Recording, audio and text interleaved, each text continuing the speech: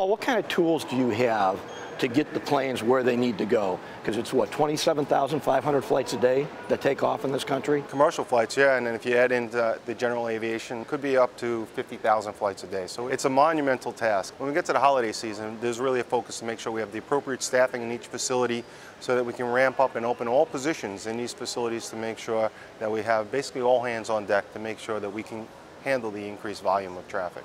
I would add at the command center out in Warrenton that you referenced, we have professionals on the ground working with your people on a day-to-day basis on behalf of our members to make sure the flights are going and what we have to do. And again, tracking the weather. So if there's a weather situation, we can get people to move where they need to go. It's accurate. It's the ultimate collaboration that's going on at the command center, working with the airlines. And so there's truly a collaboration with the users any air traffic controllers, and it's dynamic. It's ever shifting because the weather is moving.